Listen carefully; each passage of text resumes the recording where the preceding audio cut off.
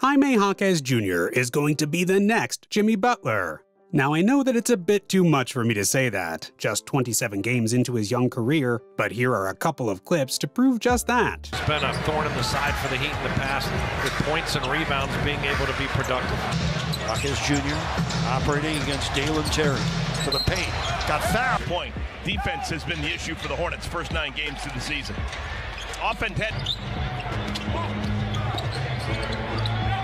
A fadeaway. The Heat's 18th overall pick is turning a lot of heads this season, not just because he plays like Jimmy, or he highly resembles a Mexican version of John Wick, but it's the fact that he's hooping like he's been playing for years in the league already, with his high-level IQ plays and methodical approach to the game. In this video, I'll be breaking down Triple J's game to know why he's not your ordinary rookie. But before we jump into that, here's an interesting tidbit that you might want to know first. I mean, outside of the two-man race between Wemby and Chet for the Rookie of the Year honors, Jaquez Jr. is slowly creeping up behind them as of late. And in my opinion, he's probably the sleeper pick that no one talks about in this year's draft. See, based on HoopsHype.com's player ranking of all rookies using their global rating, which is an in-house metric that they use to measure players' productivity on the court by combining individual and team stats, the 18th overall pick Jaquez ranks third among all rookies this season with an 11.59 global rating. And so far, across 27 games, he's been averaging 13 points a ball game, 3.6 rebounds, and 2.7 assists, while shooting efficiently from the field with 51.3%, 38.8% from beyond the arc, and clocking in 86.3% from the foul line. He's just been recently named the Eastern Conference Rookie of the Month, with the numbers he's been putting up, and this is a strong indicator that he still has a higher ceiling to reach. Now, one of the main things that really stands out about Jaquez is how he operates at the low block. Even though he's just 22 years old, Jaquez shows a high level of maturity for his age, which can be reflected in his patience when he's getting buckets. Besides this, he also has strong fundamentals, primarily in terms of footwork, which he uses to create space or get around his defenders. In this low post action, Jaquez just takes his defender to school like an old school vet, as he grinds him down with a flurry of moves before turning the other way around to drop the short floater. And when he's matched up against a much smaller defender, he'll use his size and wide frame to get down deep, and once again, use his footwork to score easily. Now, Jaquez is not all about pounding the little guys in the post, cause from time to time, he can give you smooth fadeaways too, such as this one. And because he's so crafty around the shaded lane, Jaquez can basically score against anyone, even if a rim protector like Jarrett Allen is standing in front of him. He's so efficient down low that he's outscored traditional bigs, such as Julius Randle, Jusuf Nurkic, DeAndre Ayton, and his own teammate Bam Adebayo this season. Anyway, aside from being a legit scoring threat at the low post, Jaquez also presents a major problem on the defense with his ability to hit cutters or find open shooters while he's operating in his sweet spot. After Robinson dumps the ball to Jaquez at the post, Bam sets up a backdoor screen to free him up, and as soon as he sees him cutting in the middle, Jaquez just throws it to him in traffic, which results in a wide open lane for Robinson to easily lay it in.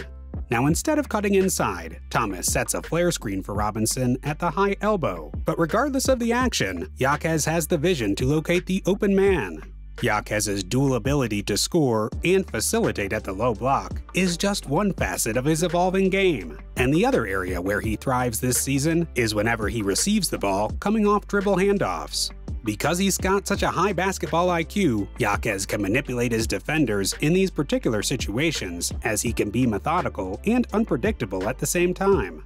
See, here's the dribble handoff turning into a two-man game with Love. DeRozan thought that he's gonna explode to the left after turning the corner, but then Jaquez suddenly switched gears and dropped DeRozan in the process before slashing in the gut of the defense for the easy walk-in layup.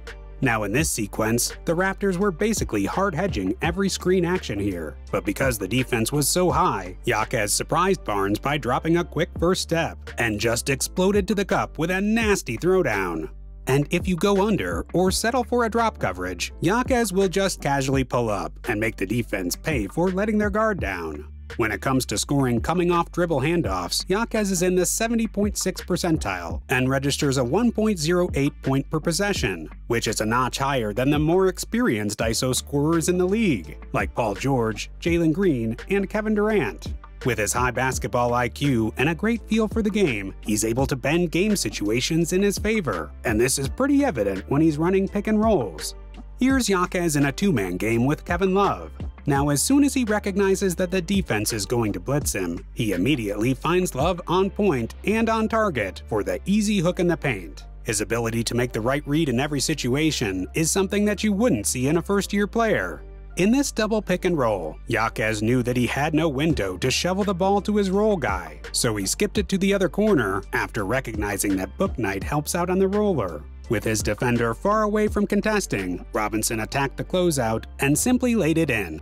Now the last area where Jaquez is making a living right now is in transition. He's in the 74.7 percentile with 1.24 points per possession in fast break attacks, which is slightly better than James Harden, LeBron James, and Luka Doncic.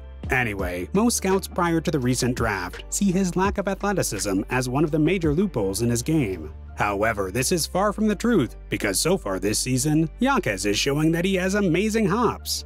Heat on the run. Three on three. Hawkins! Fella makes a nice crossover, but right here, Barnes thinks he may have a chance. Off a turnover, Jaquez leads the break for the Heat, and after receiving the ball, he just elevates and detonates for the two-hand flush. And in this transition attack, you can't find Jaquez in the frame initially, but out of nowhere, he just bolts in during the secondary break, and finishes this one through all the way. On top of all the great things that he brings to the table, Jaquez is also quite good at selling fakes for a rookie, and he knows when to cut in order to position himself for easy scoring opportunities when he doesn't have the ball. Jaquez clearly took a page out of Jimmy Butler's playbook in terms of his play style, especially when he's doing his thing at the post, whether he's about to score or dish it to someone else. Now, it's still too early to say what his ceiling might be just 27 games in, but if you're emulating the game or copying the blueprint of one of the most underrated players in league history, then it goes without saying that you're trekking the right path. As you saw in the previous clips, Jaquez is a fundamentally sound player with incredible court sense and elite decision making, which is precisely why the game comes easy for him. Spo loves these high IQ kind of guys, and picking him up at 18th was no coincidence, but a carefully orchestrated plan all along.